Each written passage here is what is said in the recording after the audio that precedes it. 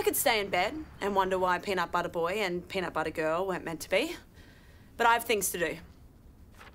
Number one, act more. Number two, find treasure. I just really need to make some money. You're up early. I couldn't sleep, but I've got things to do. I made a list. Ooh. No, go ahead. Figure out what I want to do. Diversify investment portfolio.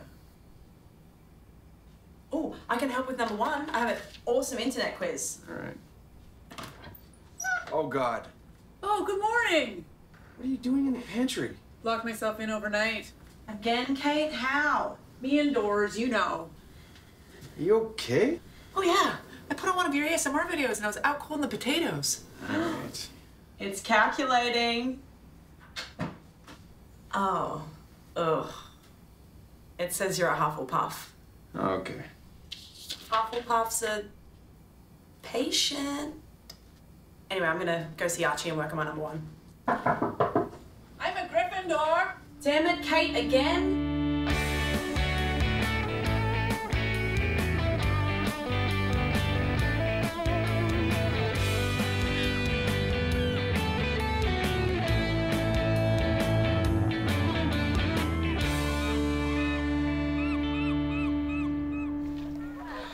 Haven't had an audition in weeks, and being an actress is like being a tree. No one sees you do it. Do you even exist? I think that's how it goes. Archie, I auditioned less than Jennifer Grey after the nose job. Yeah, but more than that chick from Dirty Dancing. Archie, that's the same woman. Logger, please. Ending that up? Don't look at my cards.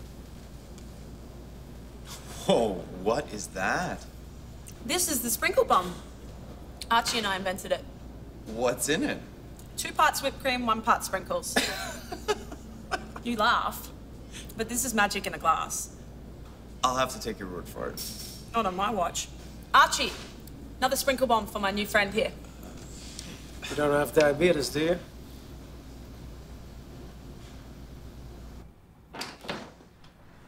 Hadn't even knocked yet. Huh. Kate Bateman, you have been frustrated since you read those stupid, terrible reviews of our clown show. And so I have compiled a list of all sorts of different ways that people blow off steam, and we're gonna try out each thing on this list until you feel better.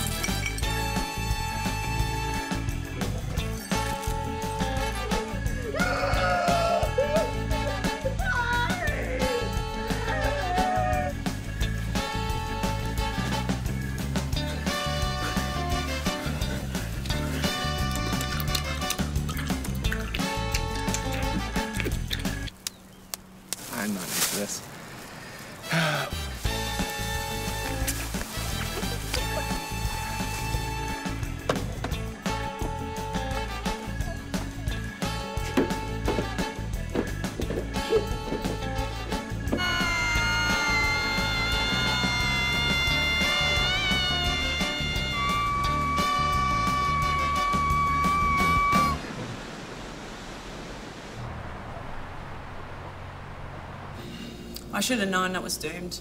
I couldn't even pronounce his name. Was it Carl? How'd you know? The Australian accent is not built for that name. No kidding. Unfortunately, sometimes people let you down. Yeah. But when you find the good ones, it's like finding treasure. Oh no, I gotta get to my number two. It was a pleasure to meet you. Andrew. Andrew, Lisa. Archie, I gotta go. Put this on my tab. No, Lisa! I can't hear you going through a tunnel. No, Lisa! She was quite the drinking partner. You should see her act. She acts. I know Lisa was trying to help, but I'm actually a Gryffindor. At least she gave me the idea to try one of these online career quizzes. So I took the chance to get out of the house and try some new things. And what I learned was when it comes to careers, there's not always cookie cutter solutions. I mean, we're all so different. But they always say when things don't go well, go back to what you know. Hey guys, uh, Bro SMR here. And today we're going to do something a little different. There won't be any ASMR today, I'm afraid. Huh. I mean, as most of you know, recently I turned 30, which has kind of led to a crisis of oneself. And you've seen my uploads fall off dramatically. And it's. I've been doing this for three years. And I just feel stuck. And I feel like I need to do something else. I feel like I need to branch out. Like I don't know what it is. And it's not you guys, it's a me thing. And so, with that, this is going to be my last video. Kate! Nope. Matt! Nailed it. I bought Kate a doorstop so she doesn't get stuck in the pantry. You paid for that? Give me this. How was your day? Any luck with number one? I don't know, maybe. I think I just crowdsourced my whatever life crisis I'm having. It's very modern of you, Matthew. Hmm? Well, good news is I can help with number two. Oh, yeah? Yeah. Diversify investment portfolio! It's treasure. It's chocolate. Chocolate treasure.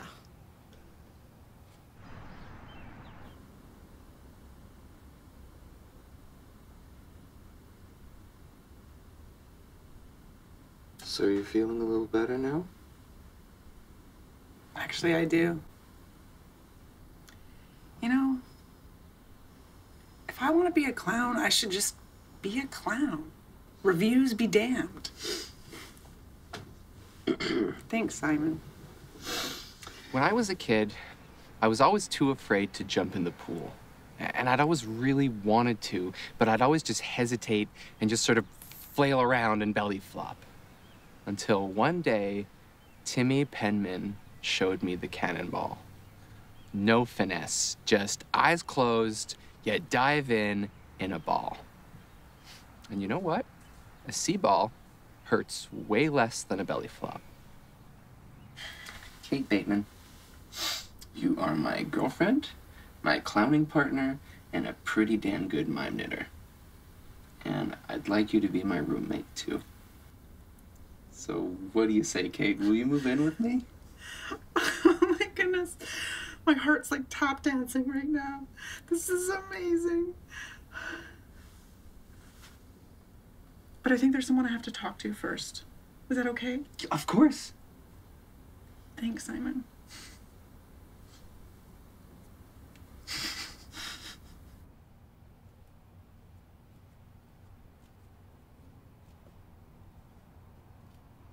You know, things have a way of coming into focus at the end of the day, and you just know how it all has to go.